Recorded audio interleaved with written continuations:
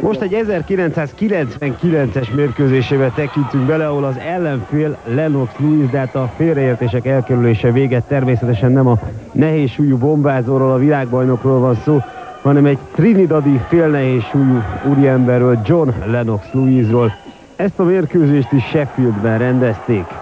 Fekete nadrágban látható tehát Clinton Woods, akinek nagyon szép eredményei vannak. Ő ugye az IBF világbajnoka Rico Hoy ellen idén márciusban nyerte meg ezt az övet, és most a kihívója majd Julio Cesar González lesz.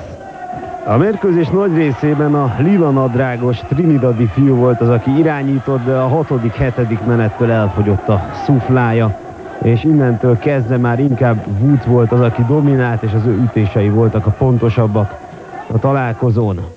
A legszebb jelenetelét, aki összesen kétszer mozdult ki hazájából, eddig egyszer Portlandben, az Egyesült Államokban boxolt, akkor Roy Jones volt az ellenfele, és a hatodik menetben kiütötték őt.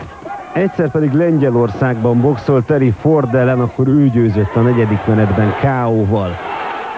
Vannak még nagy nevek a listáján, Glenn Coffey Johnson, ő ellene kétszer is meccselte az elmúlt két esztendőben, egy döntetlen és egy vereség a mérlege ellene, tehát igazi kiváló bunyósról van szó, és itt már a tizedik menetben járunk, amikor Clinton Woods egyértelműen a maga javára fordította a mérkőzést,